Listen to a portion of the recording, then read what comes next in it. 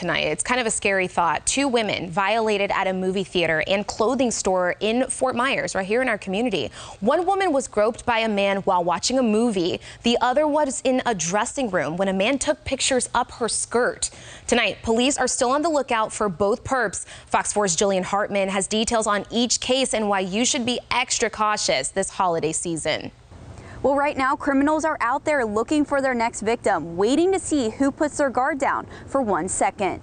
Inside this Burlington and Fort Myers, police say a man took photos up a woman's skirt in the dressing room. The victim was then able to capture this photo of the guy inside the store. With that information, the police can easily arrest this individual. Former Police Chief Walt Zalisko shares some advice for holiday shoppers on what to do when you're in a dressing room.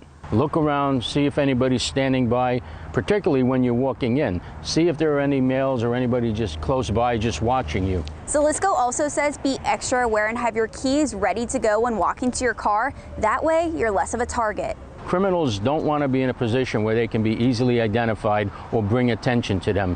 What they're trying to do is to give an element of surprise upon the victim. A woman inside the movie theater at Bell Tower was caught by surprise. In a report, police say last Friday the victim was getting a drink at the concession when a man approached her, asking if she was alone. She said yes. You never admit that you're alone because that's just going to, you know, get the guy more interested in what he wants to do. Police say the man then followed her back to her seat and started groping her legs and chest. She should have gotten up right away, moved away, scream. I mean, when something like this happens to you, when somebody touches you, start screaming in a movie theater. The woman did leave right away, but Zalisko says getting a good description is key. In this case, the victim says the man was white, 5'9", about 200 pounds, had grayish hair, and wore plaid shorts and a polo shirt.